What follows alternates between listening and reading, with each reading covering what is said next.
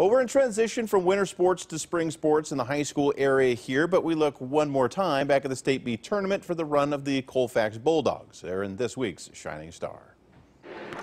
If high school is a time to try a wide range of different activities, Colfax's Caleb Berquist is taking advantage. He's a kid that's always encouraging other kids.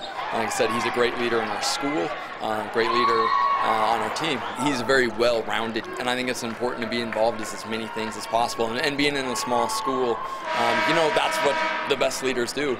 As a starter on the Bulldogs basketball team with a 3.8 GPA, he's also a member of the Honor Society, the Future Farmers of America, and a competitor in Washington's High School Rodeo Association, where he's a state champion. I practice every day rodeo as well as basketball, and so commitment kind of comes into both. I try to be a leader. Coach Reese needs somebody to get the team going. I try to be there for that, but it, it also goes over to rodeo too. If somebody needs uh, help that I think I can help them, I try to help them. I'm not saying I'm the best at it all, but I can uh, try to help them what I've learned.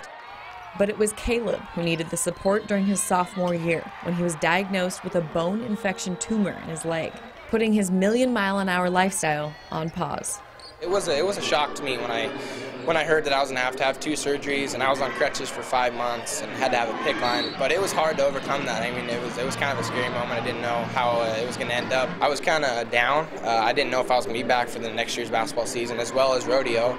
Five months of daily treatment and physical therapy helped Berquist get back onto the court, where he happened to hit a game winner in the district tournament to help Colfax get back to state.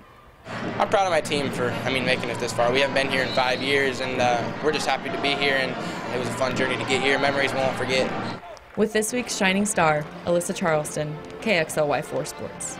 Thank you, Alyssa. If you know of a senior student athlete that you believe deserves some recognition, please let us know. Send us an email to sports at kxly.com. Of another Shining Star next week, Nadine. All right.